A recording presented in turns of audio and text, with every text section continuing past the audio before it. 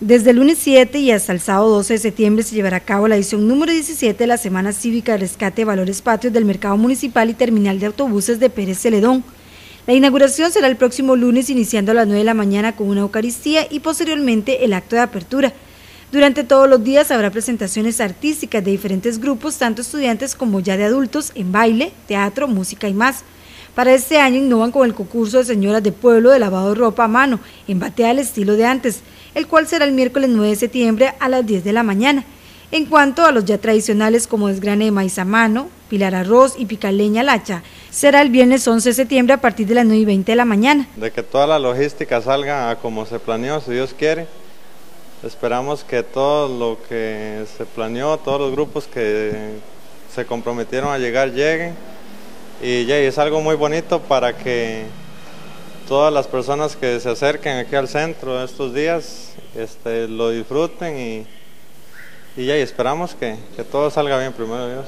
El sábado 12 de septiembre a partir de las 8 de la mañana será la celebración del Día del Niño en el parqueo del Banco de Costa Rica, una actividad abierta a todo el público y se cierra con un desfile de rescate de transporte de los años 40 a partir de las 10 de la mañana. Este año se va a implementar, al año pasado tuvimos una, un cerradero a mano, de esos que se cerraban a puro hombre, como dicen.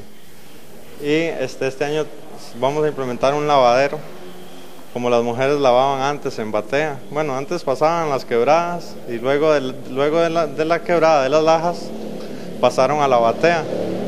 Entonces, este, ya ahora vamos a ver ahí un poquito de eso. También este, por ahí viene en el programa una actividad para los niños. También los días miércoles y jueves se realizará la Feria de la Salud.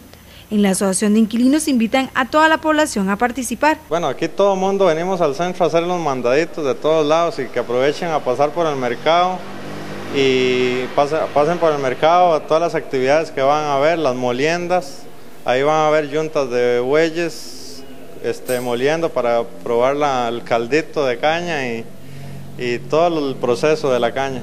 Cabe indicar que este año los dedicados son Saúl Fernández, Germán Barrantes y Mauro Zúñiga.